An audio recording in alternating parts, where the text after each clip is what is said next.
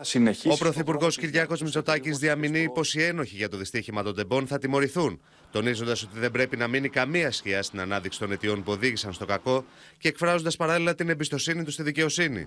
Έχω απόλυτη εμπιστοσύνη στη δικαιοσύνη. Κινείται με ανεξαρτησία και ευθύνη σε βάθος και στον ανώτατο βαθμό. Και είμαι βέβαιος ότι θα σταθεί στο ύψος των περιστάσεων για να καταδειχθεί η αλήθεια, να ερευνηθούν και να απαντηθούν όλες οι καταθέσεις, ακόμη και οι πιο ακραίες. Δεν πρέπει να μείνει καμία σκιά που να δηλητηριάζει τη δημόσια ζωή και την εμπιστοσύνη στους θεσμούς. Ακόμη και αν αυτό απαιτήσει λίγο περισσότερο χρόνο. Ο Στέφανος Κασελάκης κάνει λόγο για κρατικό έγκλημα που δεν πρέπει να θαυτεί, τονίζοντας πως η τιμωρία των υπετίων είναι κορυφαίο ζήτημα δημοκρατίας.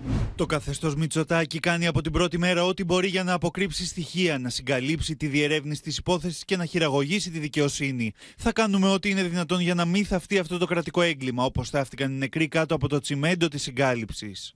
Την ώρα που η πολιτική αντιπαράθεση χτυπάει κόκκινο για τα τέμπη, σ' άλλο έχουν προκαλέσει τα όσα είπε για την τραγωδία ο πρώην μπασκεμπολίστας Νίκος Παπάς, ο οποίος θα είναι υποψήφιος στις προκριματικές εκλογές του ΣΥΡΙΖΑ για μια θέση στο Ευρωψηφοδέλτιο του κόμματος, με τη Νέα Δημοκρατία να κάνει λόγο για ρητορική κασιδιάρη και να ζητά από τον Στέφανο Κασελάκη να καταδικάσει. Μιλάμε ξεκάθαρα για μια κυβέρνηση δολοφόνου. Κάναμε τα στραβά μάτια όταν βιάζαν τη δημοκρατία με τις υποκλοπές.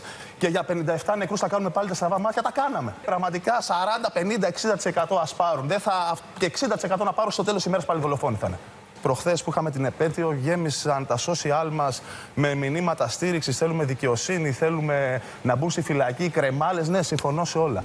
Ο ΣΥΡΙΖΑ που συγκυβέρνησε με την ακροδεξιά και έχει ως κυρίαρχη τάση τον τομπολακισμό, αποκτά πλέον ρητορική κασιδιάρη. Το κόμμα που έστεινε θλιβερά τηλεοπτικά σοου, ενώ αποδεδειγμένα γνώριζε για την ύπαρξη νεκρών, χρησιμοποιεί σήμερα ακραία ρητορική μίσους και επιδίδεται σε πολιτική την βορυχία για την τραγωδία των τεμπών. Καλούμε τον κύριο Κασελάκη να καταδικάσει και να απομονώσει στο εσωτερικό του κόμματός του φωνές που αρθρώνουν τόσο χιδαίο λόγο.